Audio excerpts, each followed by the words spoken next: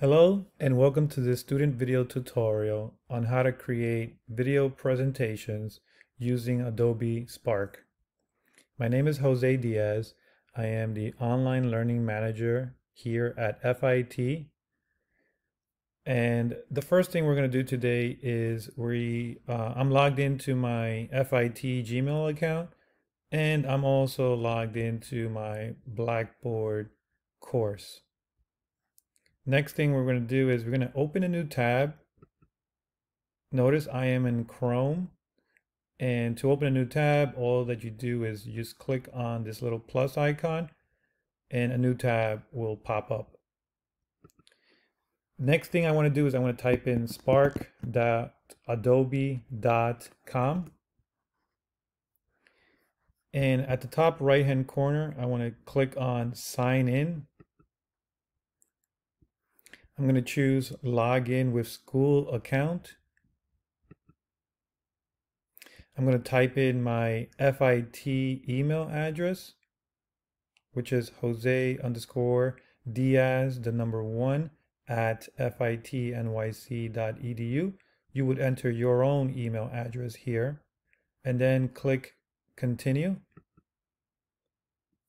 Choose company or school account. This will log you into the Adobe Spark page. From here, you need to go and click on this blue plus icon. You get this drop down menu. Make sure to choose video. Now, this is going to be the name of your video project. So in this case, I'm just going to call it video presentation. And then go ahead and click next. Uh, these are all templates for you to choose from, but I suggest you go with start from scratch. Click on that at, at the bottom right there. And now this is going to load Adobe Spark for you. Now here, this is a video tutorial. If you want to watch it, go ahead. But for now, I'm just going to go ahead and click X and skip it for now. Uh, this is the layout for Spark Video. This is your uh, main video screen. At the bottom left, you have the playhead. Right next to that, you have uh, your slides. And if you want to add a new slide, you can go ahead and click on this plus. It will add another slide. As you can see, now I have one, two, two slides. At the right hand side, you have your layout, whether if you want a full screen, split screen, caption, or title and text. And at the top, you have the preview button, the share button, and the download. Over to the right, you have the layout, which is this here. You can select theme, resize, and music. So for the first slide, uh, we want to go ahead and choose title and text because we want to add the title to our video presentation here.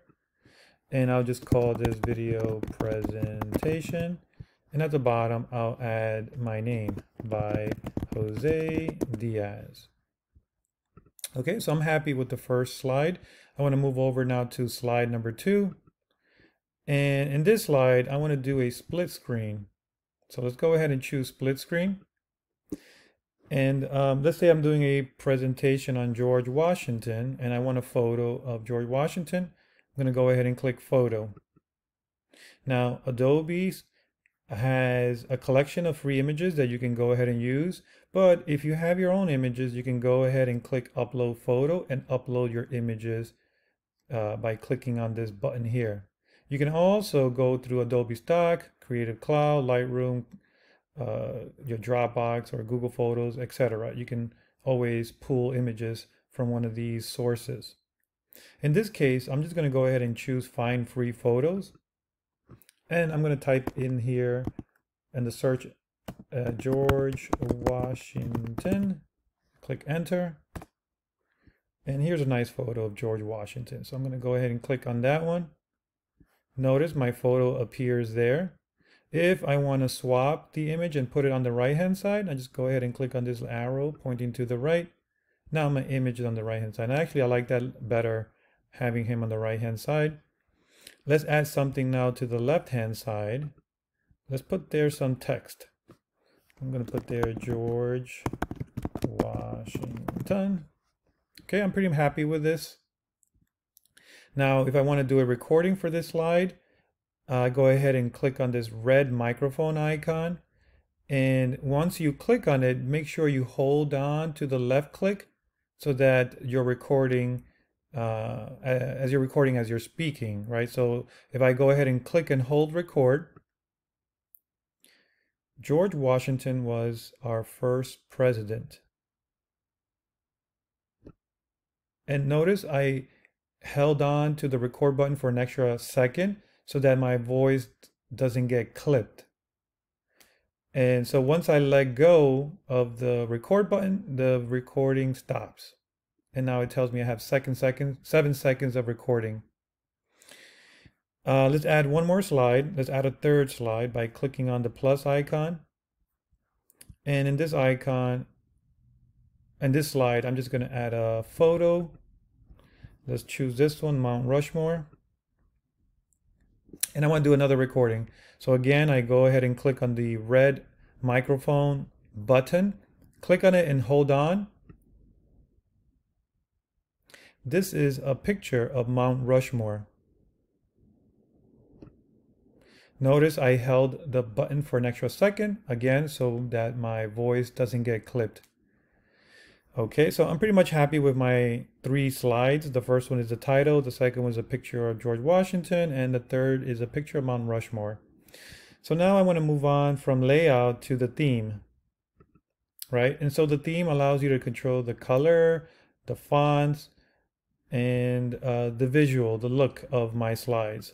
So for example, if I want to choose, let's say elevate, notice that the font changed and the color changed. So if I want to change the color to a different color, I can just select the color that I want to use and notice how the font is changing. For example, this one I'll turn to purple. If I want it to be red, I can go there and make it red.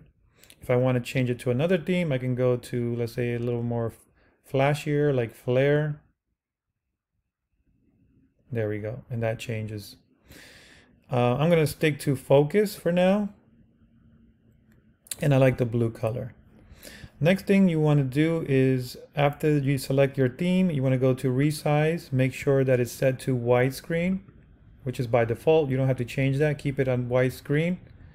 And the last option here is music, right? So now you want to pick a song that goes along with the theme of your presentation. So let's say if I want to do, uh, let's say I choose tucking in, right? So I click on that one. And now I want to preview it. Also, by the way, you can control the audio, the volume, if it's uh, how loud you want the music to play. You can also upload your own music if you choose to do so. So I chose tucking in and I kept the volume pretty low. Let's go ahead and let's preview this from the beginning. I'm going to go ahead and click on the preview button there.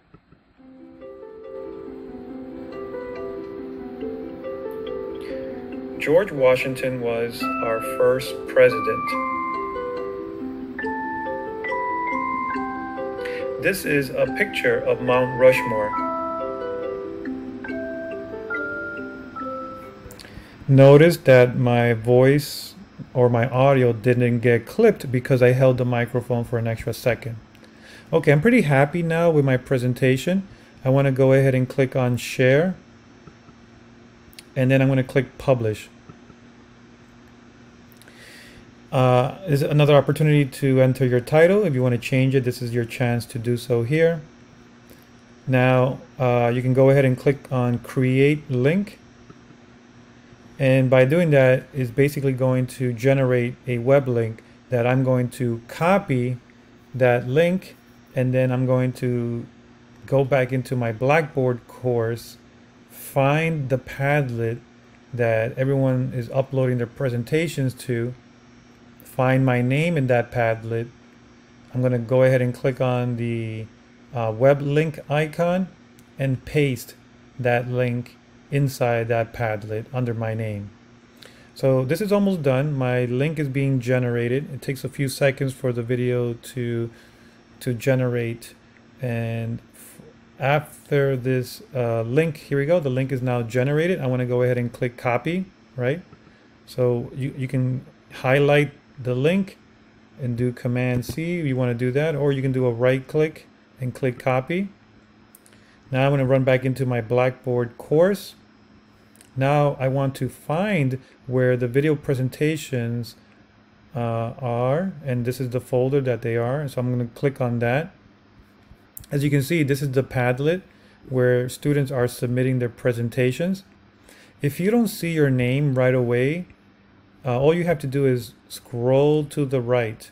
Notice there is a little uh, uh, scroll bar here that you can use to scroll. And if you don't see your name here, it might be all the way at the right hand side. So for example, here under Ronaldo Perez, I'm going to go and click on this plus icon. Now the web link is right here. I'm going to click on that web link. And I'm going to right click and paste that link to this uh, URL, right? So I'm going to go ahead and click save. And it's going to take a few seconds for the video to show. And there we go. Uh, if you choose to, you can add a title here, video presentation. And if you need to write something, you can write it here. All right. And once I've done that, you click anywhere on the screen and your post will submit. And um, if you have any trouble logging into Adobe Spark, please feel free to email me at Jose underscore Diaz, the number one at fitnyc.edu or any other problems that you may have. Please feel free to email and email me and I will help you. Good luck, everyone. Take care now.